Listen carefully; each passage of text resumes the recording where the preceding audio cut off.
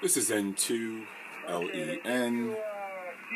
with another quick video clip of the Yeah, I don't know. I didn't. All I just looked at what it Revival it of and I only the- saw one thing there. SDR Flex SDR 1000 with the Roland Edirol FA66 sound card. We just made a change. We now are running uh, the Power SDR modified version by Darren KE9NS and Excalibur the Russian Ham for the SDR 1000.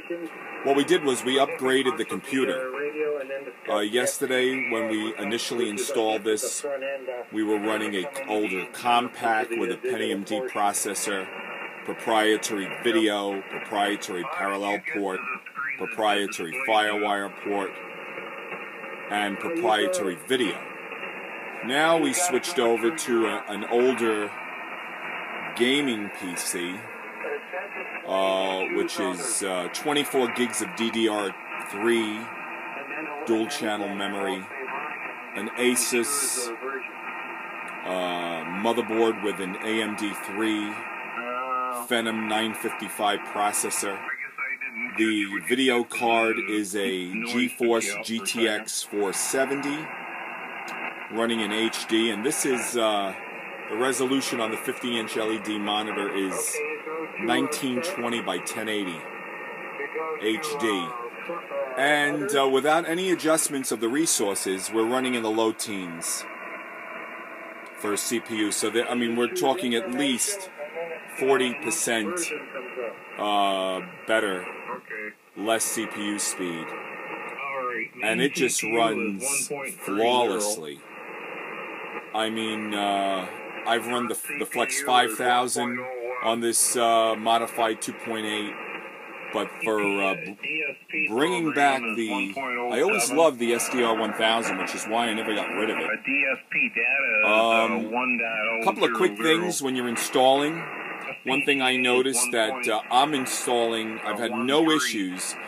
In this particular motherboard, there is there is no proprietary parallel port. So I'm actually using a Rosewill R3 RC303 parallel port 2 serial PCI adapter.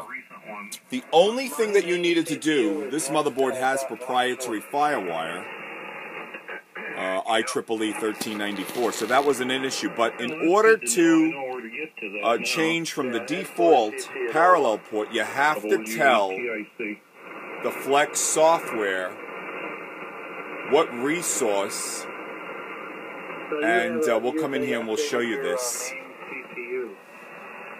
Uh, here's the setup. And right in the config, you can see right up here, uh, the LPT address is not defaulted at uh, port 378. Uh, you go into the resources for the parallel port under COM ports, and uh, this PCI port, the machine selected address E800. Make sure that when you're uh, changing parameters, you select apply and then uh, OK. All of the skins, the Power SDR skins, work beautifully. You come up here and we'll make some changes here so you could actually see uh, some of the changes. Come in here and we'll select uh, appearance. It's hard with the. And we'll select uh, Bluetooth.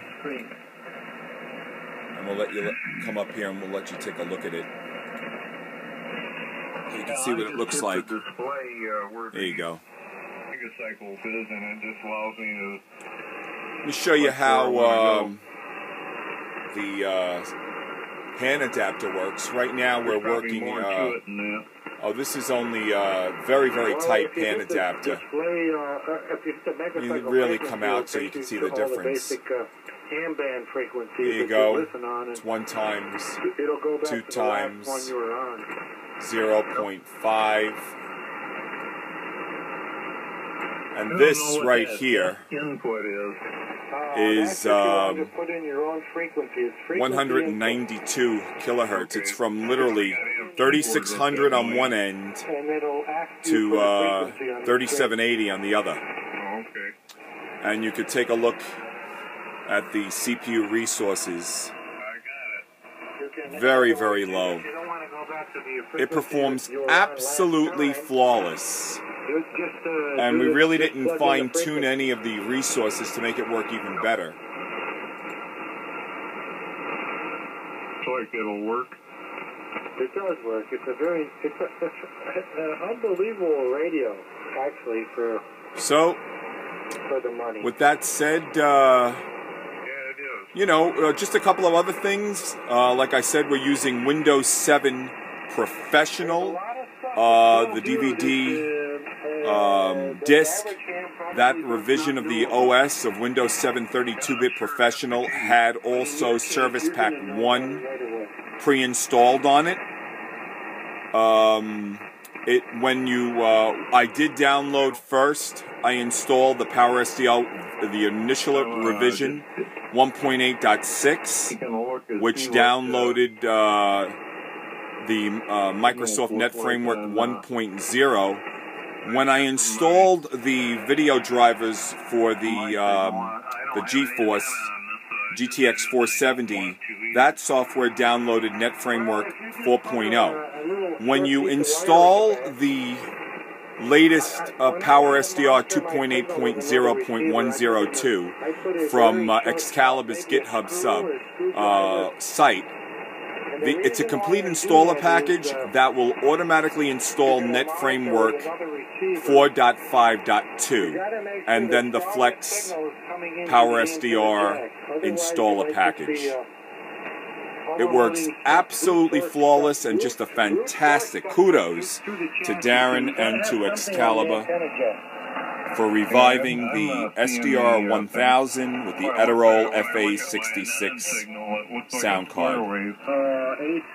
This is N2LEN, Because you're not really having the and we'll say best of 7-3. Oh, it's coming in there. I got something in there right now. It looks like a